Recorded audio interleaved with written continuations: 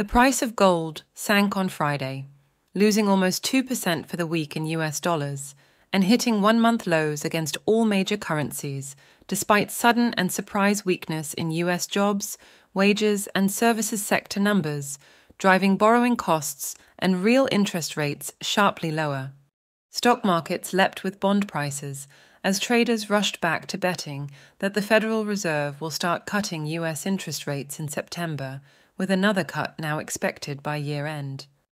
That saw the yield offered by Treasury inflation protected securities fall to 2.17% per annum, the lowest such real rate since bullion prices hit their current all time gold highs above $2,400 three weeks ago, ahead of Iran hitting Israel with drones and missiles in retaliation for the killing of senior Islamic Revolutionary Guard Corps commanders in Syria. But rather than rising as TIPS yields fell back, as per their long term historical relationship, the price of gold today sank to $2,277 per troy ounce, its lowest since the 5th of April in spot market trading. That extended gold's record run of positive co movement with the direction of real rates, a period starting at the end of March that last month saw it set a record run of new record gold highs, even as inflation adjusted borrowing costs rose. On a rolling one month basis across the past two decades, the daily price of gold has seen a typical correlation against inflation protected treasury rates of minus 0.45 on the R coefficient. That figure would read plus 1. 0, 0 if they moved together in lockstep, or minus 1.00 if they moved exactly opposite all the time. The relationship has been negative, with gold rising or falling in opposition to the direction of 10 year TIPS yields fully 75% of the time since January 2003. From the 28th of March to today, however, gold has shown a positive one month correlation with 10 year TIPS yields, a historic unbroken run of 25 sessions in a row. Gold was discounting a collapse in real rates, said a note from Swiss bullion refiners MKS PAMP's Nicky Shiels earlier this week, ahead of today's price drop. Today's US jobs data said the world's largest economy added only 175,000 net hires in April. That was the weakest growth since November on the Bureau of Labor Statistics monthly non farm payrolls estimate, and it missed consensus forecasts by over 25%.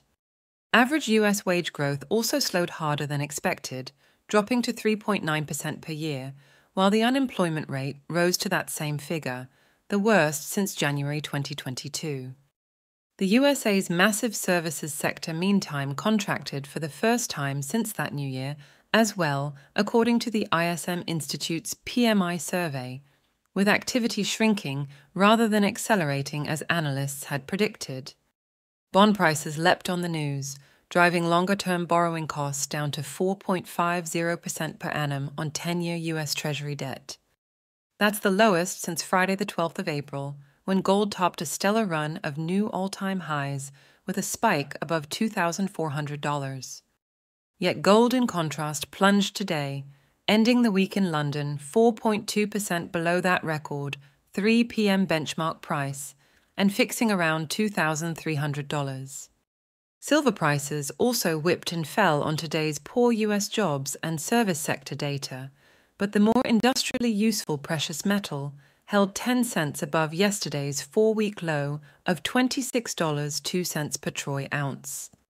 Following this week's US Fed decision to hold overnight rates at a two decade high while slowing the pace of its QE bond sales, the giant GLD Gold ETF shrank yet again Thursday, heading for its first net weekly outflow of investor money in four.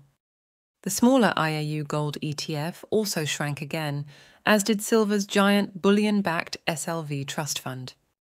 The UK gold price in pounds per ounce sank as low as £1,812 per ounce, down 7.3% from its record high of three weeks ago, while the price of gold in euro terms fell through 2,120 euros for the first time in four weeks. Please like this video and subscribe to our channel.